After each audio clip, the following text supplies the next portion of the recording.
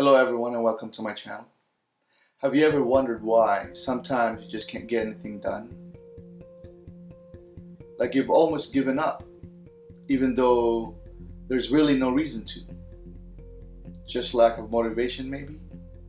Or a change of heart? What if I tell you that if you master self-discipline, that you can get things done even if your mind tells you not to? Here are the top ways to master your self-discipline. First, practice the ladder of goals exercise.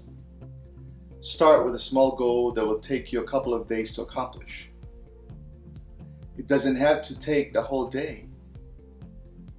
To make it about discipline though, you have to do it at the same time every single day.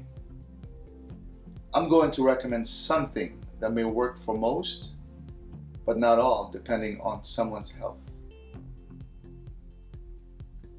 Intermittent fasting has been famous for a couple of years now as a health improvement tool. Set your calendar to fast for 16 hours for three days.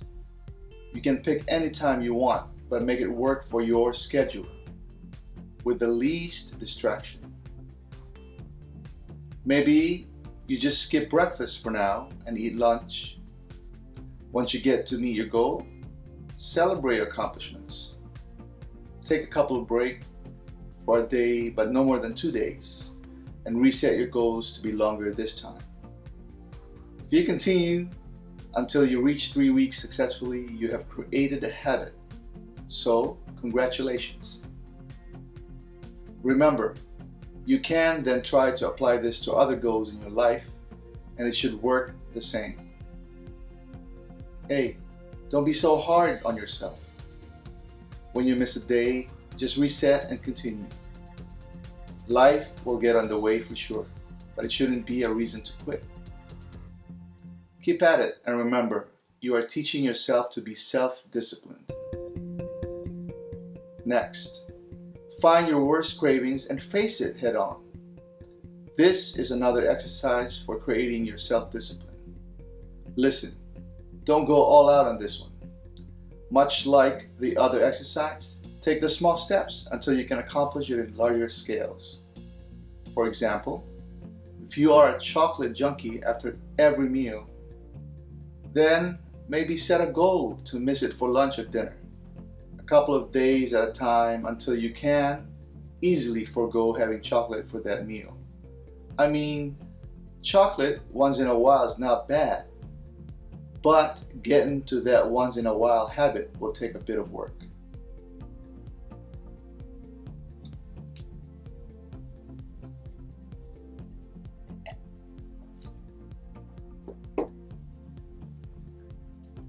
Next, find a new thing to do and just do it no matter what, no matter what your mind tells you.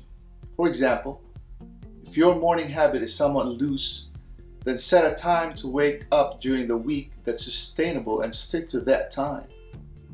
Place your alarm clock at a dresser across from your bed so that you had to get up to turn it off.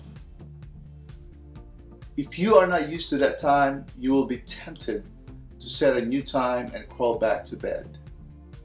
This is when you need to probably find something to do that will immediately just get you going. Brush your teeth.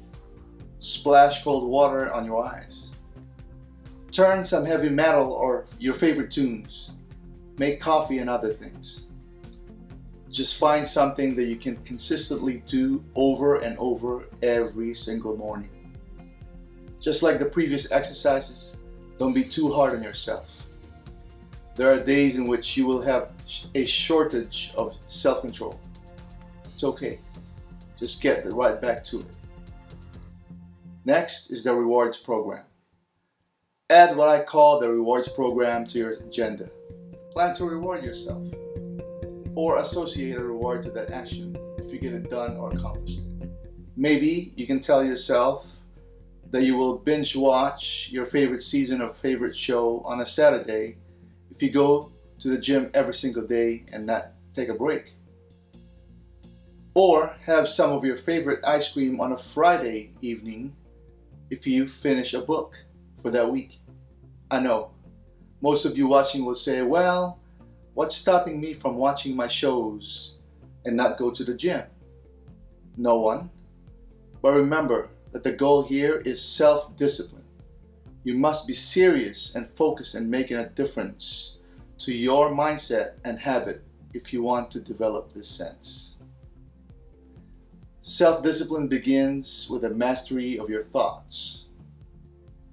If you can't control what you think, then you can't control what you want to do. Suffer the pain of discipline or suffer the pain of regret. Ask yourself, what becomes of my greatness 5, 10, 20 years from now? Thank you for watching and please don't forget to subscribe.